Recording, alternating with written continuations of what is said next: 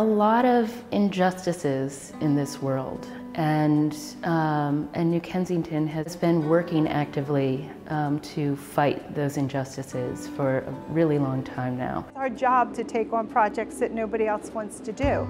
I mean, that's what CDCs are supposed to do.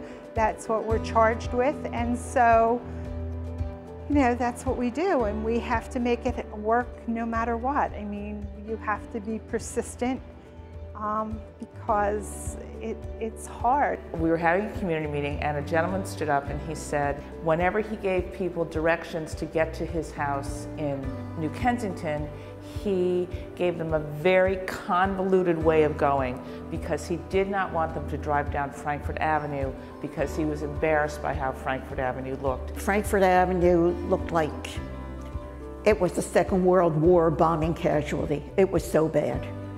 They, uh, they thought that if the vacant lots were grassed, the street would look so much more inviting. Sometimes I have to pinch myself when I go down Frankford Avenue. I hardly recognize the street from what it used to be.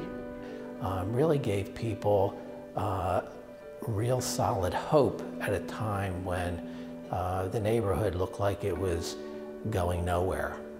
I think Orinoka is going to turn out to be one of those huge markers of success for us. Um, it is a bold move in a neighborhood that's seen a lot of divestment um, to say we are here, we're going to invest a lot of money, we're going to put our offices in this particular location to be able to support the community and live what the community lives on a daily basis.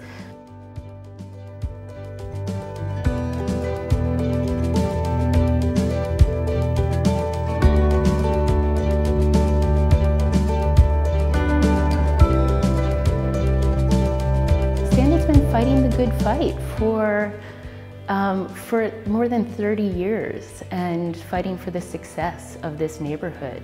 She succeeded, and it's not an easy road to try to get to where we have come today, and we've come so far.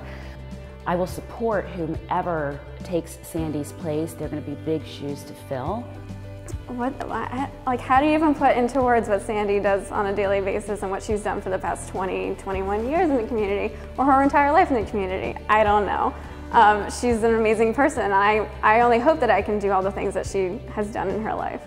And uh, one day we ran into each other at the, at the Thriftway shopping and I saw her down the aisle and I thought, uh oh, now what? And we're like pushing our carts and she's like, going on and on about funding this Coral Street Arts House and has another idea and has another idea. And I finally turned to her and I said, Sandy, I can't make a funding commitment in the grocery store. And so we laughed, and that's always been our big story. Sandy, thank you from the bottom of my heart for all of the positive things you've done in the community.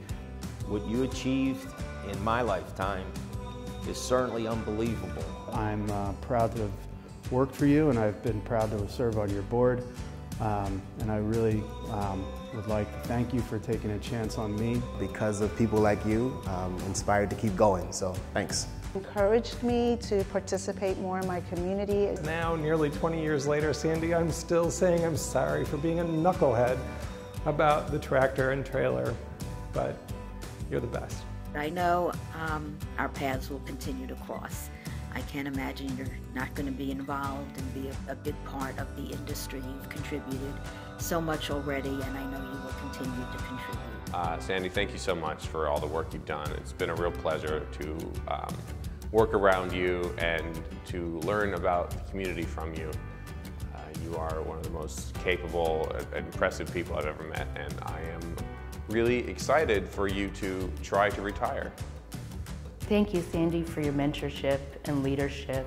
And I might just cry a little bit. this is why this is here. This box of tissue is for you. Sandy, thank you for a great ride. It was fun and I enjoyed working with you.